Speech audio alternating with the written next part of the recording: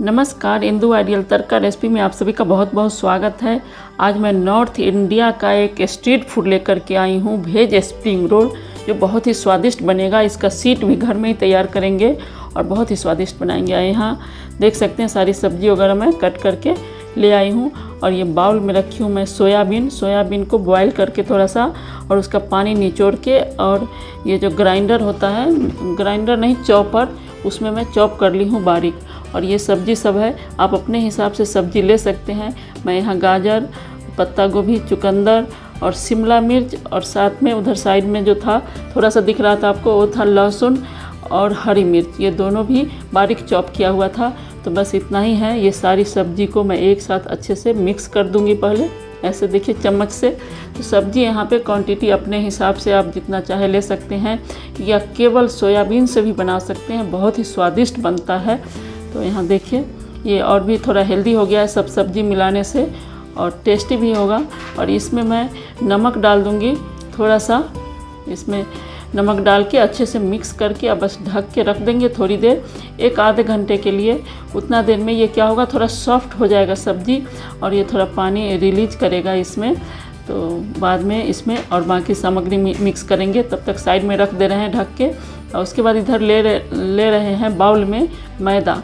आप चाहे तो केवल आटा से भी बना सकते हैं। मैं यहाँ एक कटोरी डाल दी हूँ आटा और बाकी हाफ़ के जी मैदा ली थी। और उसमें डाल दी चार चम्मच देसी घी। आप यहाँ पे रिफाइंड तेल भी चाहे तो डाल सकते हैं। घी से ज़्यादा अच्छा जो है ना, ये सॉफ्ट बनेगा और क्रंची भी होगा। बाद में खस्ता और क्रंची सॉफ्ट जो बोलते हैं ना, वैसा बनेगा, बहुत ही स्वादिष्ट बनता है। और यहाँ थोड़ा थोड़ा पानी डाल के अच्छा सॉफ्ट डो यहाँ पे मैं बना के तैयार कर ली, ये देखिए। और इसको ढक के साइड में कर दे रहे हैं। और यहाँ तवा जो है ना, गैस पे रख दिए हैं। तो सीट तैयार करेंगे इससे। और ये सब्ज़ी है, इसको अभी देख लेते हैं पहले, इसका पानी ऐसे हाथों से दबा के अच्छे से निचोड़ के और दूसरे बाउल में डाल दे रहे हैं और उसके बाद इसमें मिक्स करेंगे बाकी सामग्री। तो देखिएगा क्या क्या मिक्स करते हैं इसको चटपटा और टेस्टी बनाने के लिए। बिल्कुल भी पकाना नहीं है इस सब्ज़ी को, इसी तरीके से बनाएँगे। पहले मैं मोमो की रेसिपी एक शेयर की थी, उसमें भी इस तरीके से मैं सब्ज़ी तैयार की थी। तो आप वो भी देख सकते हैं। देखिएगा, बहुत ही स्वादिष्ट बना है मोमो भी।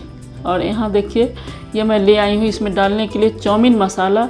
इससे बहुत ही स्वादिष्ट बन जाता है ये। ये सब्ज़ी तैयार है इसमें। ऊपर से मैं चाउमीन मसाला, बस एक पैकेट, है ना? ये डाल दी इसमें और अच्छे से इसको मिक्स कर दे रहे हैं इस तरह से। और सब्ज़ी बिल्कुल भी बाद में आपको कच्चा महसूस नहीं होगा, इतना टेस्टी लगता है, इसका अलग ही स्वाद आता है। इस स्प्रिंग रोल का, भेज स्प्रिंग रोल और यहाँ सोया सॉस डाल दी एक चम्मच। और यहाँ दो ढक्कन, उसी ढक्कन से विनेगर डाल रही हूँ मैं, जो बोतल में ढक्कन आता है उसी से। बस ज़्यादा नहीं डालना है। और यहाँ मिर्ची पाउडर डाल दिए हैं थोड़ा सा चटपटा होने के लिए। और ये देखिए, अच्छे से मिक्स कर देंगे इसको। उसके बाद इसमें डालेंगे इसमें डालेंगे सोया नहीं, ये है ग्रीन चिली सॉस और रेड चिली सॉस। दोनों एक एक चम्मच इसमें मिक्स कर दिए। बहुत ज़्यादा सॉस यहाँ पे नहीं डालना है। नहीं तो ये थोड़ा ना गीला जैसा हो जाएगा। तो वो अच्छा नहीं लगेगा सीट में। तो इतना ही डालना है। एक एक चम्मच बस अच्छे से मिक्स कर देंगे इसको। यहाँ देखिए, इस तरह से चाहिए। हल्का हल्का मॉइस हो गया है ये। और बिल्कुल बहुत ज़्यादा गीला नहीं दिख रहा है। तो इसी तरह का सब्ज़ी यहाँ पे ये तैयार हो गया है। ये सब्ज़ी ऐसे भी आप सिंपल सा रोटी बना के उसमें रोल करके भी खा के देखिए, बहुत ही स्वादिष्ट बनता है। और ये आटा जो है ना, आधा घंटा छोड़ दिए थे तो ये हो गया है तैयार। अभी इसको भी बेल ले रहे हैं। जैसे रोटी बेलते हैं ना, उसी तरह से इसको जितना पतला बेल सकिए, उतना पतला बेल दीजिए। उसके बाद उसके ऊपर थोड़ा सा मैदा छिड़क दिए हैं और ऊपर से दूसरा रोटी डाल के उसको भी और पतला बेल लेते हैं, जितना आप बेल सकते हैं। पतला तो ये सीट अच्छा पतला बेल करके बनाना है और दोनों ऐसे चिपका के बनाने से ना बहुत ही ज़्यादा पतला अच्छा बन के तैयार हो जाता है। तो ये देसी तरीका है, बहुत ही आसान तरीका है इस तरह से सीट तैयार करने का और बहुत ही क्रंची और सॉफ्ट जो है ना स्प्रिंग रोल बन के खस्ता, सॉफ्ट नहीं, खस्ता स्प्रिंग रोल बन के तैयार हो जाता है। और रोटी को ज़्यादा देर उसमें पकाना नहीं है, बस दो बार उलट पलट कर दिए और निकाल दिए हैं। और यहाँ देखिए थोड़ा गर्म है, और चम्मच से इसको निकाल दे रहे हैं, ऐसे आराम से सीट जो है ना अलग हो जाएगा। और यहाँ देखिए कितना पतला सीट ये तैयार हो गया है इस तरह से, है ना? बहुत ही सॉफ्ट दिख रहा है अभी तो इसको जब तलेंगे तो और भी स्वादिष्ट और क्रंची हो जाएगा ये, देखिएगा। और यहाँ मैं बाउल में ले ली हूँ थोड़ा सा मैदा मैदा को थोड़ा सा पानी डाल के इसको घोल लेते हैं। इससे सीट को जो है ना चिपकाएँगे स्प्रिंग रोल रोल करने के बाद, उसमें है ना? इसी से ये चिपकता है। तो यहाँ पे मैं तैयार कर ले रही हूँ। अच्छा पतला घोल, बहुत ज़्यादा गाढ़ा नहीं थोड़ा सा चिपकने लायक होना चाहिए। इस तरह से लम्ब फ्री करके उसको अच्छा घोल लिए हैं। और ये सब्ज़ी जो तैयार है उसको बीच में अच्छे से ऐसे डाल दीजिए। जितना आप चाहते हैं अच्छा भर के सब्ज़ी ही टेस्टी लगता है, इस तरह से रोल करना है। तो पहले इसमें किनारे पर ऐसे लगा लेते हैं, ये देखिए इस तरह से। आराम से आप हाथों से भी लगा सकते हैं। मैं चम्मच से यहाँ लगा रही हूँ। पहले एक मैं बना के आपको दिखा देती हूँ। फिर बाकी बनाऊँगी। अब फटाफट से बनाते जाएँगे इसको। और गरम गरम इंजॉय करते जाएँगे। तो कैसी लग रही है ये रेसिपी बहुत ही आसान तरीका है और झटपट से बन जाता है और पसंद तो इतना आएगा कि आप बार बार इसको बना करके खाएँगे। बहुत ही स्वादिष्ट बनता है। और इस तरह से देखिए रोल करना है कैसे। एक और रोल करके मैं दिखाऊँगी। बहुत ही आसान है और ये चिपक गया अच्छे से।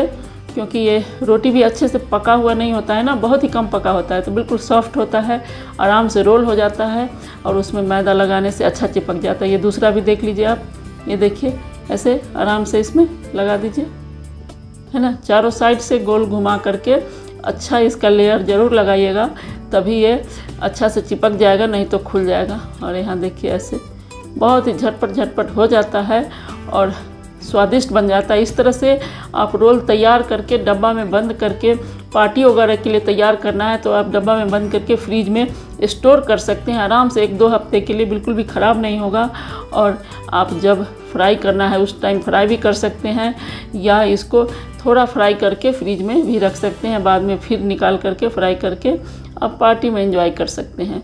नहीं तो ताज़ा बनाइए, ताज़ा खाइए, बहुत ही स्वादिष्ट होता है। और यहाँ देखिए तेल गरम हो गया है, इसमें डाल दे रहे हैं इसको और आराम से उलटते पलटते इतना ही तेल गरम में, बहुत ज़्यादा हाई फ्लेम में डालेंगे तो बाहर से कवर जो है ना कलर हो जाएगा डार्क और पकेगा नहीं अच्छा क्रंची नहीं आएगा। सॉफ्ट और क्रंची जो होता है ना, खस्ता वो नहीं आएगा। तो इसलिए इसको मीडियम में ही तलना है। गैस को ज़्यादा हाई नहीं करना है, उलटते पलटते हुए आराम से इसको दो बार, तीन बार पलट के आप जो है ना, कम तल के भी निकाल के इसको रख लीजिए, स्टोर कर सकते हैं। कच्चा भी स्टोर कर सकते हैं, आपके ऊपर है। और नहीं तो ताज़ा ताज़ा तो है ही बनाने, खाने के लिए। तो हम लोग तो ताज़ा इसको बना रहे हैं।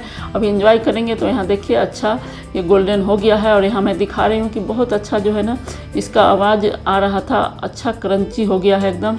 और यहाँ मैं कट करके दिखाऊँगी। तो ये नोक से दबा के ऐसे आराम से इसको काट लीजिएगा। सीधे चाकू लगाएँगे तो काटने में दिक्कत होगी तो नोक पहले उसमें लगाइए और उसके बाद दबा दीजिए, आराम से कट जाता है फटाफट से।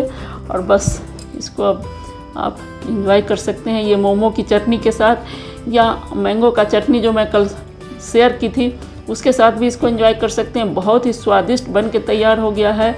और ये आप खाते जाएँगे और बिल्कुल मन नहीं भरेगा, इतना स्वादिष्ट बना है तो कैसी लगी रेसिपी ज़रूर बनाइएगा और कमेंट कीजिएगा कैसी लगी और बने रहिएगा मेरे चैनल पर। अभी तक सब्सक्राइब नहीं किए हैं तो मेरे चैनल को प्लीज़ सब्सक्राइब ज़रूर कर लीजिएगा। फिर मिलते हैं एक और नई रेसिपी के साथ।